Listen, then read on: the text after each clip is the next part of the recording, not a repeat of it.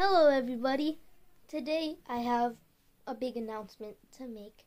So, as you know, I make Sonic plush videos, and I enjoy doing it with you guys. I up, I try to upload um consistently. I usually post two videos a week. I took a break about two weeks ago. I just needed a little break, but I have a big announcement. I will be making a feature length Sonic the Hedgehog movie. I know what you're thinking. You already made a Sonic movie, The Infinity Gauntlet. That wasn't supposed to be a movie. It was just supposed to be a nine minute long video about Sonic, Tails, and Knuckles just having fun with the Infinity Gauntlet and eventually catching something on fire.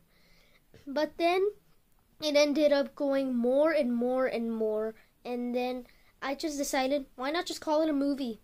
You know, make the thumbnail, you know, a Sonic movie, you know? But this will actually be an in vain movie.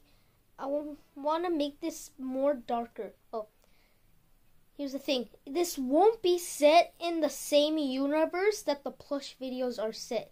The plush videos, they're going to be in their own universe. This movie is going to be in their own universe don't worry, I'm still going to post plush videos, but I kind of want to take the time to develop this movie and film it.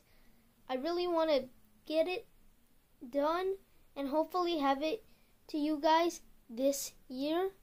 And I really hope you guys have a good time with it. And I also will announce the title today and the the first poster. So the title of the movie is going to be Sonic Blackout. That's the title of the movie. There you go. So if you guys want to know what the poster is gonna be like, here you go. There's the first poster. I'm gonna take the time to develop this movie and hopefully have it out to you guys this year. Thank you.